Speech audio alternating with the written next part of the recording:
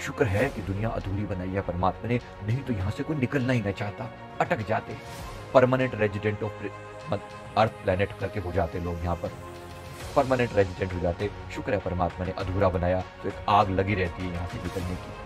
तो जब जब जिस, जिसके ऊपर थोड़ा ज़्यादा ही प्यार आने लगे ना, समझ लेना बिछड़ने का टाइम आ चुका है। कि हर रिश्ते की सच्चाई बता रहा हूँ। जब जब लगने लगे कि बस बस ये पर्सन ये व्यक्ति, ये ये रिश्ता बस अब तो बिल्कुल यूँ है कि बस जन्म जन्म का साथ तुम्हारा, हमारा। सभी रास्ते उन्होंने कोशिशें करी, ट्राई किया। बिल्कुल ये स्टोरी जो है, भगवान बुद्ध की जो कहानी है, वो समाधि में पहुँचने का एक द्वार है। जो घटना बुद्ध के साथ घटी, उसी चीज़ को हम बेस लेकर समाधि की यात्रा पर निकलने लगे हैं। बुद्ध के पास प्रयासों की कोई कमी नहीं थी। He was the person of great will power extremely great will power जिन्होंने जो कहा, उन्होंने वो करके दिखाया। जो भी किसी ने कहा, परमात्मा को पाने के लिए क्या करो? किसी ने कहा, इतने उपवास रखो। एक महीना उपवास रखो। बुद्ध ने दो महीना उपवास रख के दिखा दिया। किसी ने कहा कि यहाँ पेड़ के ऊपर उल्टे लटको, पैर ऊपर बाँध के, सिर नीचे बाँध के, सिर नीचे लटका के, तीन दिन ट्राई करो। उन्होंने छह दिन ट्राई करके दिखाया। जिस भी तरह की डिफ़िकल्ट से डिफ़िकल्ट साधना के बारे में किसी ने कहा कि इसके ये वाला मंत्र है, इसकी ग्यारह माला कर लो, उन्होंने इक्कीस माला करके दिखाई। जो किसी ने कहा, कोई ये नहीं कह सकता था बुद्ध को उनकी विल पावर के कारण कि तुमने बात पूरी नहीं की। नॉर्मली हम कह देते हैं ना, किसी बंदे ने प्रयास पूरा, भाई, मेरे पास जो चीज़ होगी, मैं वही बोलूँगा महामृत्युंजय मंत्र मान लो, मेरे पास है, मैं बोलूँगा। बस ये मंत्र ही सब कुछ कर देता है। जिसके पास एक रास्ता है, वो अपने रास्ते को सर्वश्रेष्ठ मानता है। बस इस रास्ते में अब ग्यारह नहीं किया तो इक्कीस ने कर देगा, इक्कीस ने नहीं तो इकतीस ने कर देगा। लेकिन बुद्ध ने वो सब किया। किसी के पास अब कोई जवाब नहीं होता था। एक बार जब ये कह देते थे क्या तुमने ये किया हाँ मैंने किया। कोई जवाब नहीं है। इसके बाद, उसके बाद भी प्राप्ति नहीं हुई। परिपूर्णता नहीं आई। परिपूर्णता नहीं आई। तो हम सभी परिपूर्णता के पीछे ही दौड़ रहे हैं। अधूरापन किसी को बर्दाश्त नहीं होता।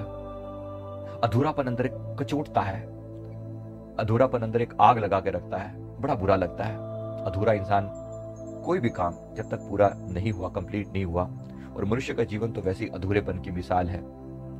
पूरा, हर चीज़ में अधूरा अधूरा अधूरा लगता है। कुछ अधूरापन तो नेचर ने दिया और कुछ अधूरापन संसार ने दिया। संसार में कोई भी चीज़ परिपूर्ण आनंद नहीं देती। ये बात क्लियर है सभी को? संसार की कोई भी चीज़ परिपूर्ण आनंद नहीं दे, देती ना दे सकती है उसकी औकात ही नहीं है देने की।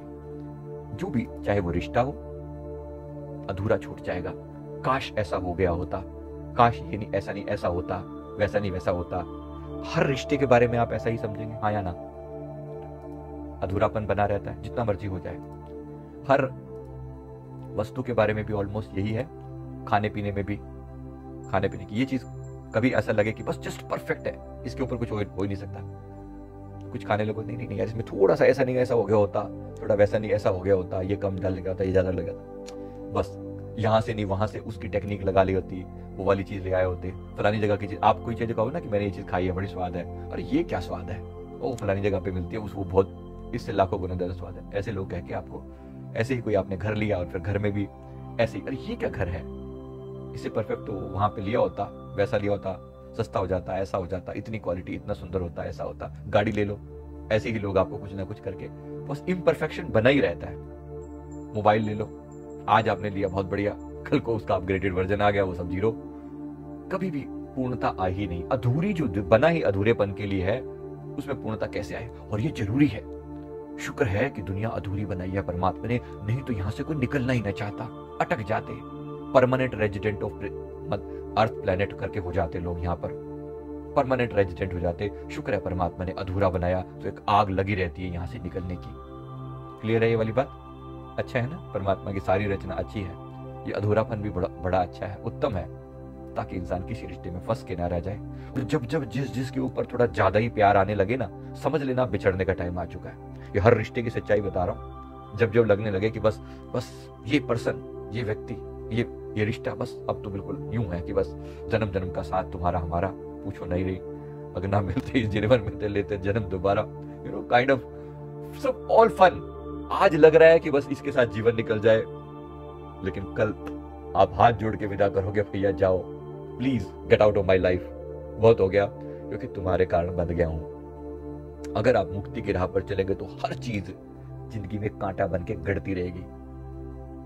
ये परमात्मा अधूरापन भी आप हमको फील करवाता है। दुनिया तो इसी में बड़ी राज्य है। दुनिया इसी में बड़ी राज्य है। मेरा पति तो मेरा देवता है। मेरी पत्नी तो देवी है। ज़रूर होगी। ज़रूर होगी। आपकी थोड़ी ज़्यादा ही होगी इसलिए होगी क्योंकि आपको यही रहना है। शुक्र है परमात्मा ने हमें वो देवी देवता नहीं दिए। नहीं दिए ना? किसी को ऐसे देवी देवता मिले नहीं ना? बहुत बढ़िया। शुक्र है परमात्मा का कि ना कोई ऐसी देवी मिली, ना कोई ऐसा देवता मिला। राइट नहीं मिलेंगे नहीं मिलेंगे। परमात्मा अधूरापन बनाए रखेगा। ये अधूरापन की ठेस जो है लगती रहनी चाहिए। ये कचोटती रहनी चाहिए। शुक्र है। और ये एक आध की बात नहीं है। आपको लगता होगा कि शायद आप लोगों का दायरा लिमिटेड है। थोड़ा सा मेरा ज़्यादा दायरा है बड़ा तो लोग कॉन्टेक्ट में रहते हैं। दुनिया भर के इतने में आप सिर्फ़ कमेंट ही पढ़ लो यूट्यूब के। वो तो पब्लिक है ना। उसी में देखो लोगों की समस्या है ऐसे भर भर के भर भर के रिश्ते। ज़्यादातर जो समस्या है ना वो रिश्तों की। मतलब अगर मैं सौ बातें कहूँ अस्सी परसेंट बातें रिश्तों की, फिर दस एक परसेंट ब्लैक मैजिक वगैरह की और बाकी मिल मिला के बाकी सब दस परसेंट। और टोटल मिला के बस इतना सही खेल है कि आप, अधूरापन सबकी ज़िंदगी में बरकरार है। ये पूर्णिमा का पूरा चाँद कब खिलता है? जब आप पहली बार आप इस अधूरेपन को स्वीकार करते हो तो अधूरेपन को भरने के लिए प्रकृति इंतज़ाम करती है। प्रकृति पास सब कुछ है। सब कुछ है, लेकिन वो अधूरापन देती ही इसीलिए है ताकि आप परिपूर्णता की खोज कर सको। सुंदर है, बहुत उत्तम है। जब जब मन में ये आग लगे, वरना गौतम के पास क्या कमी थी? जो बाद में बुद्ध बने, उस समय क्या कमी थी? लेकिन सारे संसार की सारी लगभग खुशियाँ थी। एक राजा के पुत्र थे तो सब कुछ ही था।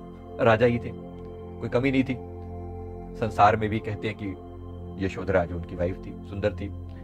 और बच्चा प्यारा था, पिता फेवरेबल थे जनता फेवरेबल थी। संसार में के हिसाब से कोई कमी नहीं थी। फिर भी एक अधूरापन कचोटते, कचोटने लगा एक बात को पकड़ने के बाद कि मौत जब आएगी तो क्या होगा? मौत तो सब हिला के रख देगी, एक दिन बुढ़ापा भी आएगा, एक दिन मौत भी आएगी तो वो तो सब हिला के रख देगी तो अच्छा है, इससे बाहर निकलने का उपाय किया जाए। शुक्र है, हमारे भीतर ये जागृति बिना किसी मुर्दे को देख के भी आ जाए। मुर्दे को देख के तो आ ही जानी चाहिए, किसी बीमार को देख के आ जाए, आ ही जानी चाहिए। क्यों ना आए? ज़रूर आनी चाहिए जागृति। तो अगर ये जागृति आ गई है तो फिर प्रयास करता है इंसान और फिर समाधि की यात्रा शुरू होती है, ध्यान की यात्रा शुरू होती है, अध्यात्म की यात्रा शुरू होती है। समाधि मतलब क्या? समाधि मतलब अब अब हम, हमने एफर्ट डाला एफर्ट डालने के बाद ध्यान में प्रयास किया, ऊर्जा को बढ़ाया और एक समय पर लाकर अपने आप को, जब ऊर्जा पूरे शरीर में उसने ब्लॉकेजेस खत्म कर दी, फिर हमने अपने आप को समर्पित कर दिया। यहाँ से होती है समाधि की यात्रा शुरू। प्रयास कैसे करना है? पहले एफर्ट लगाना, ध्यान करना, ध्यान में पूर्णता की तरफ़ जाना, खूब प्रयास करना, जब तक वो पीक ना आ जाए। फिर जब वो पीक आ जाए तो उस समय में क्या करना? सारे प्रयास छोड़कर समर्पित हो जाना। समाधि घटित हो जाएगी। समाधि मतलब समाधान फाइनल समाधान। एक ऐसी अवस्था जहाँ पर ना तो समय रहता है, ना वहाँ पर डिस्टेंस रहती है, ना वहाँ कोई विचार रहते हैं, ना कोई टाइम की परिभाषा है ना ही वहाँ पर। अपने होने का एहसास मात्र बचता है, कोई परमात्मा सामने नहीं आ जाता। लेकिन आप स्वयं ही उस उतरी देर के लिए परमात्मा जैसे हो जाते हो, जब तक आप समाधि में थे। उसके आने के बाद भी आप वहीं स्थित रहते हो। अब वहीं स्थित रहने का नाम ही सहज समाधि है। अगर आप वहाँ से बाहर आने के बाद भी आप वैसे स्थित रहो तो उसका नाम है सहज समाधि। तो पहले प्रवेश करते हैं समाधि में, फिर समाधि में टिके रहने का साधन बनाते हैं। कि टिके रह सके लॉन्ग टर्म के लिए वहाँ पर टिके रह सके। तो प्रयास करते हैं समाधि में उतरने का। तरीका कोई भी हो, ध्यान की कोई भी टेक्निक लगाओ, अंत में जाकर उस ध्यान के बाद समर्पित हो जाओ। लेट जाओ और परमात्मा को कहो कि मैंने जो कुछ भी मैंने अभी जो किया है, ये सब कुछ समर्पित करता हूँ। अब आप कृपा करो। और फिर वो घटित होता है। समाधि प्रसाद की तरह से है। अगर आप कभी गुरुद्वारा साहब कहीं गए हैं खूब सेवा सुबह अगर करी है, शारीरिक रूप से सेवा करो ना लास्ट में क्या मिलता है? प्रसाद मिलता है ना परमात्मा का। प्रसाद में आप ऐसे नहीं लेते प्रसाद को कभी भी। प्रसाद को हमेशा ऐसे लिया जाता है। दो।